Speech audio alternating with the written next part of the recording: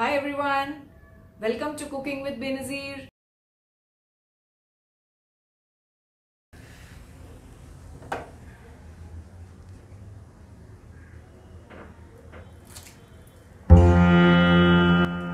Cooking with Benazir सिर्फ़ जायका नहीं जज्बात भी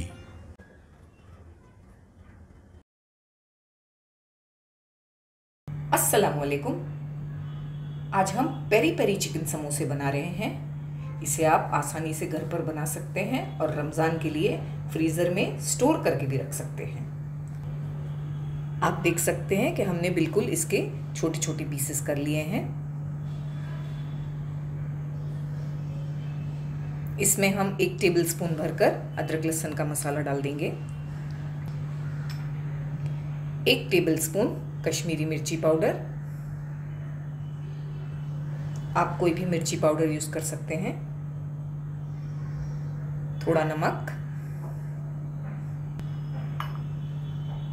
थोड़ा काला नमक ब्लैक सॉल्ट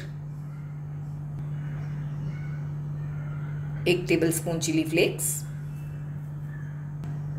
एक टेबल स्पून ओरिगैनो ओरिगैनो एक इटालियन सीजनिंग है, जो आपको आसानी से मार्केट्स में मिल जाएगी। दो टेबल स्पून विनेगर सफ़ेद सुरखा इसमें हम ऐड कर देंगे एक tablespoon olive oil. Peri peri chicken olive oil में ही बनाई जाती है। आप चाहें तो कोई भी ऑयल यूज़ कर सकते हैं। हम इन सारी चीज़ों को मिक्स करके आधे घंटे के लिए रख देंगे।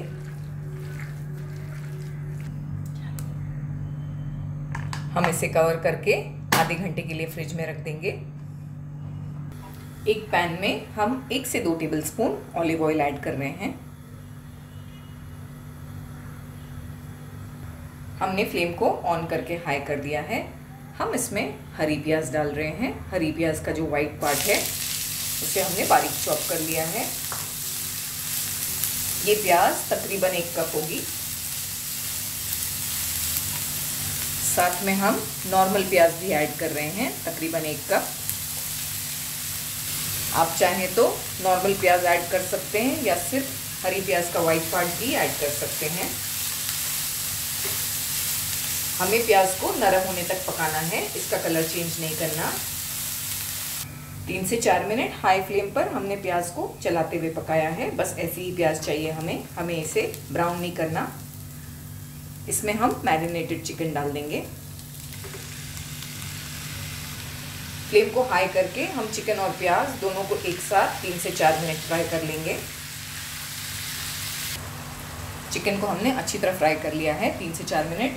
हम फ्लेम को बिल्कुल लो करके इसे कवर करके दो से तीन मिनट और पकाएँगे। चिकन के पीसेस बहुत छोटे हैं, ये जल्दी गल जाएँगे। बस दो से तीन मिनट पकाएँगे हम।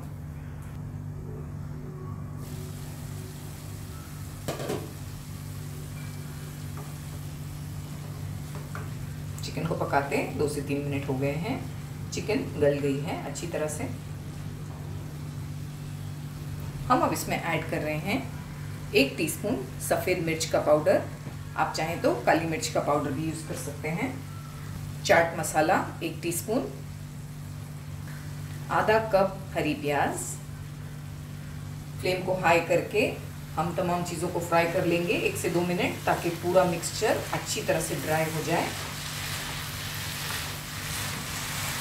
हमने दो से तीन मिनट अच्छी तरह से हाई फ्लेम पर सारी चीज़ें पका ली हैं। हमें इसे अच्छी तरह से सुखा लेना है। हम फ्लेम को बंद कर रहे हैं। हम इसे ठंडा होने देंगे। बाद में हम इसे समोसे में भरेंगे। चिकन ठंडी हो चुकी है। हम अब इसके समोसे बनाते हैं। आप चाहें तो समोसे चीज़ वाले भी बना सकते हैं और बिना चीज़ वाले भी बना सकते हैं। हम थोड़ी चिकन में चीज़ ऐड करके समोसे बनाएँगे। चीज़ की क्वांटिटी आपके ऊपर डिपेंड करती है। आप जितना चाहें, उतना ऐड करें। हमने यहाँ पे मोजरेला चीज़ यूज़ की है।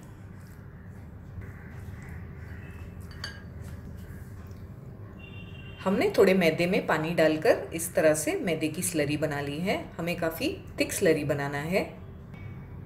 इस तरह से।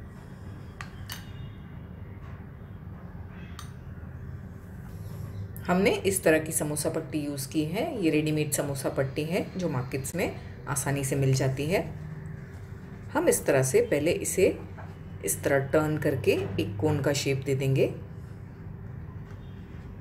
इस तरह। हम इसमें चिकन फिल कर देंगे।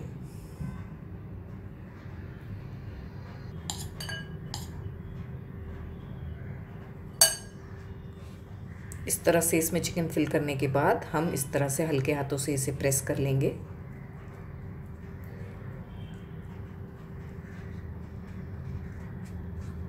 यहाँ से हम इसे यूँ टर्न कर देंगे।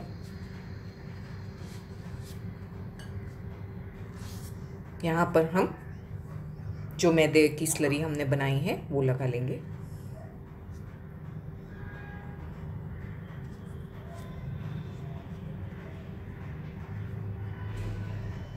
इस तरह से हम समोसे को बनाकर तैयार कर लेंगे।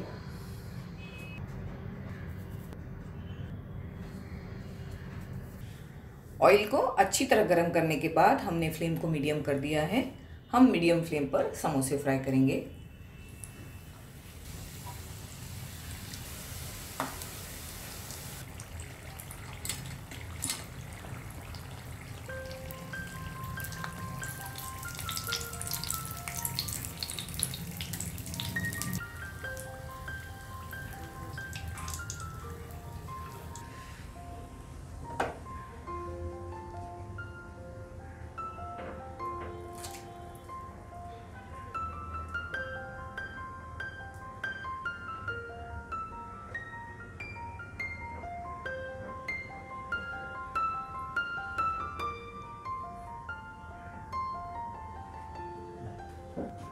तो दोस्तों, कैसी लगी आपको मेरी रेसिपी अगर आपको मेरी रेसिपी अच्छी लगी हो तो आप मेरे वीडियो को लाइक करें और शेयर करें।